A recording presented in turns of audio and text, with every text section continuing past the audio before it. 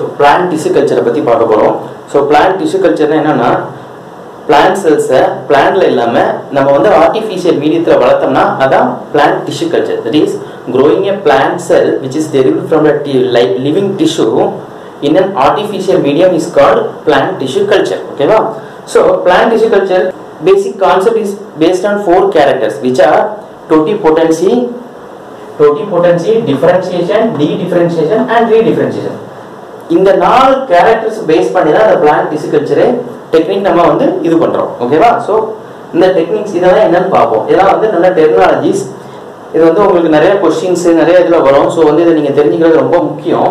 So அதில் வந்து ரொம்ப முக்கியமான கேரக்டர்னு பார்த்தீங்கன்னா டோட்டி பொட்டன்சி ஓகேவா so what is totipotency totipotency is ஒரு single cell has the total potential to produce the entire plant ஓகேவா?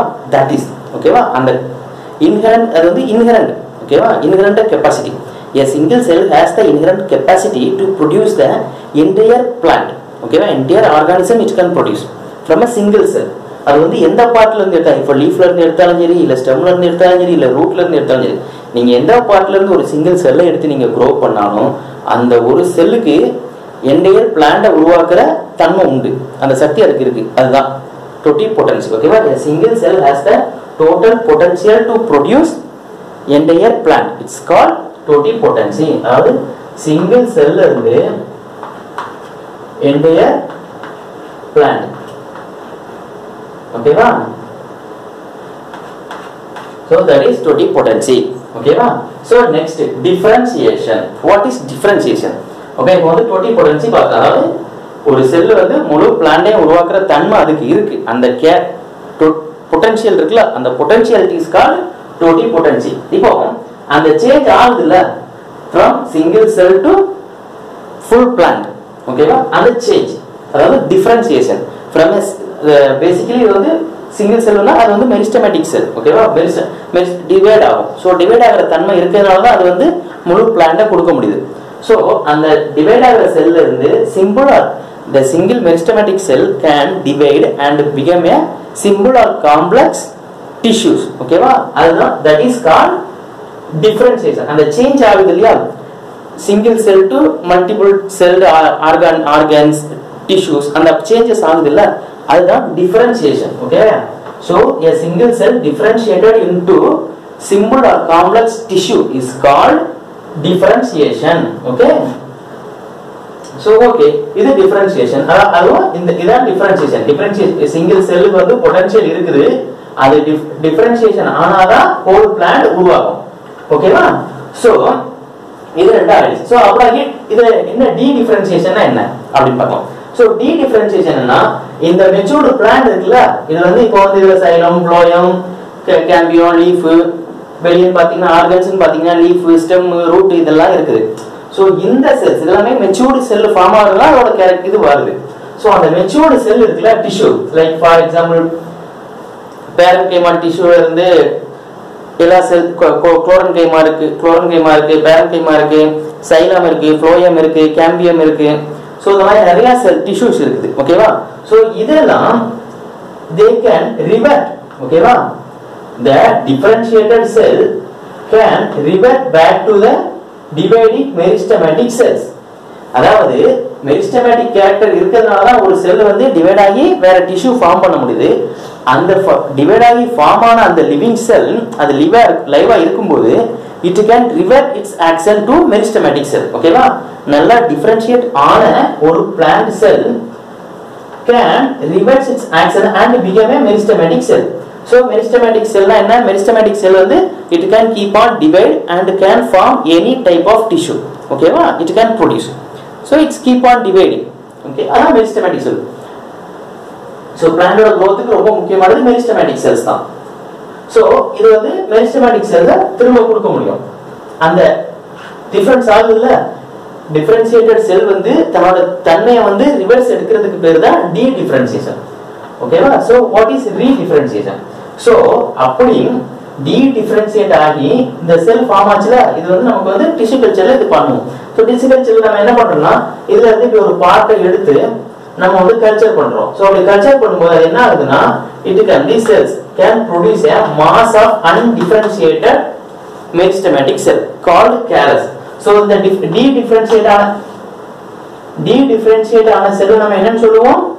Callus ஓகேவா so a differentiated cell get de-differentiated to form a undifferentiated mass of cells which is called callus ஓகேவா so these are me- callus is a mass of meristematic cells ஓகேவா so it can இப்போ வந்து இதுல நீங்க மறுபடியும் இது பண்ணீங்கன்னா it can produce new whole plant ஓகேவா so அதுதான் redifferentiation so இது வந்து de-differentiate ஆகி callus ஃபார்ம் ஆயிடுது so இந்த ஃபார்ம் ஆன callusல இருந்து மறுபடி whole plant ஃபார்ம் ஆகுது இல்லையா அடுத்த organs like it can produce several t- type of tissues எல்லாம் xylem phloem cambium parenchyma chlorenchyma sclerenchyma இந்த மாதிரி நிறைய tissues ஃபார்ம் ஆகுதுல செல்ஸ் அண்ட் டிஷ்யூஸ்லாம் அந்த இது சேஞ்சஸ் ஆகுது பாத்தீங்களா அந்த டிஃபரன்சியேஷன் தான் redifferentiation differentiation is a natural act ஓகேவா for plant growth it occurs but redifferentiation is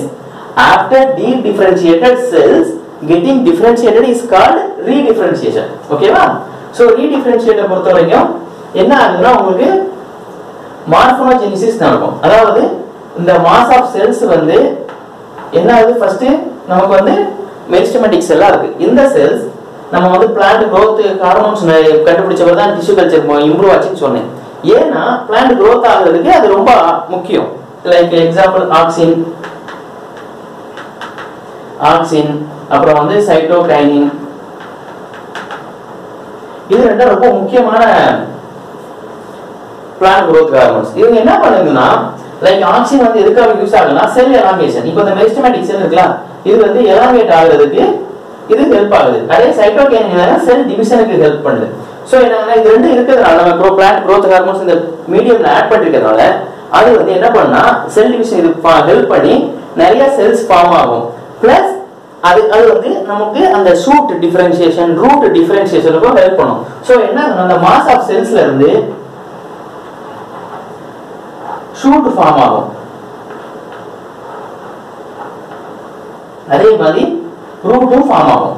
ஓகேவா ஓகேவா சோ இது வந்து இப்போ newly grown plant in a test tubes ஓகேவா சோ இப்படிதான் நமக்கு வந்து இது நடக்குது சோ இது வந்து எதனால இப்படி வந்துச்சு ரீடிஃபரன்ஷியேட் ஆனதுனால cells get differentiated to become a plant and those plant get de-differentiated to form a callus and those callus can re-differentiate to form cell so நமக்கு வந்து கொஞ்சம் லைக் ஒரு சின்ன பார்ட் ஆஃப் பிளான்ட் பீஸ் கிடைச்சா போதும். அதாவது and healthy plant piece virus attack ஆனது அதெல்லாம் நம்ம ப்ரொடியூஸ் பண்ணாங்க எந்த யூஸும் கிடையாது. ஸோ வந்து என்ன பண்ணுவாங்கன்னா ஹெல்த்தி பிளான்ட் பார்ட்ஸ் தான் யூஸ் பண்ணுவாங்க.